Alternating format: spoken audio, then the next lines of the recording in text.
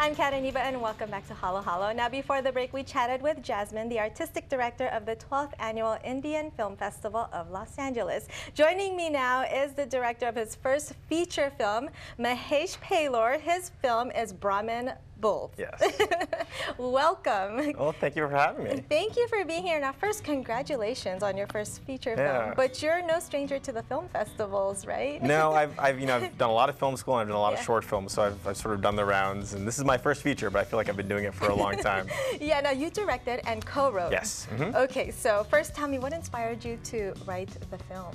Uh, well, you know, it's, it's a few things. One thing, um, you know, living in LA as an independent filmmaker, you're always you're always trying to push projects, Yes. and and I think it was actually my wife who I co-wrote the film with, Uh-huh. and she was like, well, I think you need to make a film that's a low-budget movie, and you should write something that's a little bit more personal. Mm-hmm. So um, that was sort of like the, the first thing that said, okay, well, what, what, what is the story that we can tell? Right. And for me personally, um, you know, I'm, I'm in my 30s now, and I think um, I always have, I, you know, although it's not uh, completely autobiographical, the Uh-huh. story does relate to my own relationship to my own dad, and I and I've sort of noticed, um, you know, in my 30s that you know I have a different relationship to my parents, and Mm-hmm. I've sort of seen them now as as individuals, not just Yeah. parents. And Yeah. I realize, you know, they were individuals before me. Exactly. And so uh, I think that's what we explore in the movie, sort of that relationship. How long did it take for you and your wife to write the film? Uh, it took us probably, uh, for the writing process, probably about, about two years. It took a while. And then you directed it as well. Yes. Did, Mhm. So did you get a um, decision to who to cast?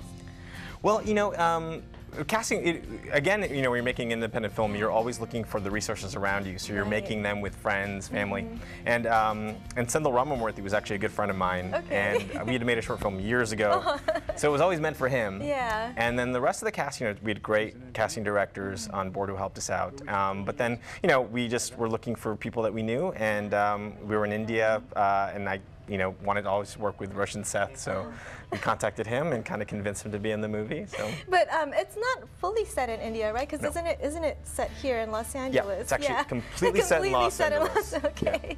Okay. Now, tell me what you would like um, people to get out of watching your film. You know, I think. Um, well, first, I, I just think it's I I think it's a, a heartwarming movie. Yeah. It's a movie that's that is about relationships. Although it stars, you know, two Indian leads. Right. Um, it's a universal story So we about. all can relate. And people are gonna come and go, but the houses that they live in stick around for years later.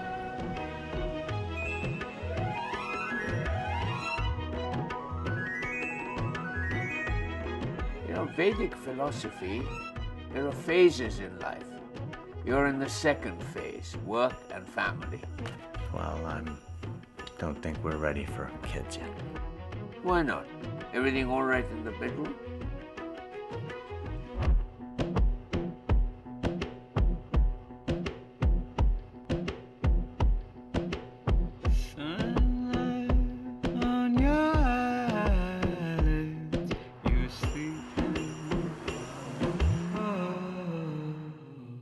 And it's about these relationships and, and sometimes um, you know the, the people in our lives surrounding them as well. So I think I think for, for I, I just want people to have an, uh, you know enjoy um, you know enjoy the movie, have a good time. I think it's funny, it's heartwarming, Yeah. and it's dramatic. And people are responding Yeah. Well to it, getting positive reviews. Because I heard you won the Audience Choice Award at the San Diego Film Festival. Yeah, what which was great. that like? It was really great, um, and that was actually our first premiere screening. So it was Oh, it was kind of a nice validation to Yeah. see that people were Is- sort of enjoying the movie and, and responding to it. Do you feel like it's a lot of pressure because it is your first feature film? You're like, oh my goodness. A little bit, yeah, I think so. Because you know, it's uh, especially when- when you're making a movie, you really don't know like how people are going to respond to things, and so it's a little scary when you when you release it out.